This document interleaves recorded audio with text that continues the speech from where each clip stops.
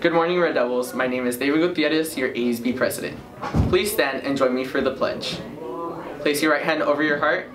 Ready, begin. I pledge allegiance to the flag of the United States of America and to the republic for which it stands, one nation, under God, indivisible, with liberty and justice for all. Thank you, Red Devils. You may now be seated. Good morning, Red Devils. Buenos dias, Red Devils. I'm Emilio. And I'm Marina. And this is your Red, Devils, Review. Are you a senior citizen and you get started on your 401k? It's seniors. We're not that old yet. Oh. We're just seniors.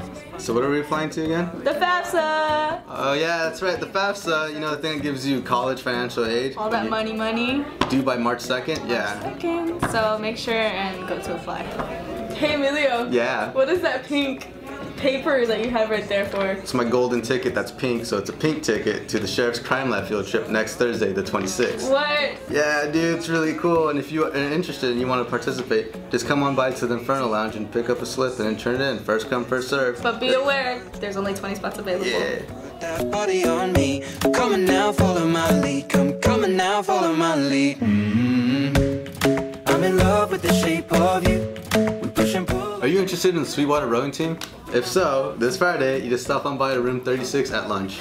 There will be an art club meeting on Friday, January 20th, after school in room 610. So all you painters, make sure to go and be at that meeting.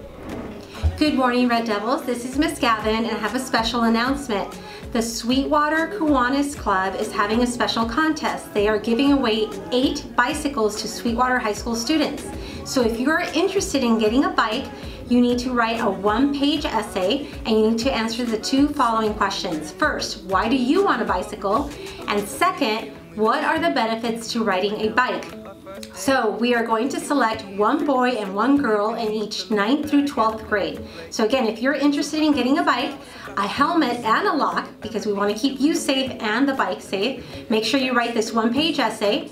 Why do you want a bike and what are the benefits to riding a bike? All essays are due to Miss Gavin, to me, by next Friday, January 20th. Thank you, Red Devils. Hey guys, Friday will be a cold and rainy day, so come warm up in the Inferno Lounge while making some Pinterest projects.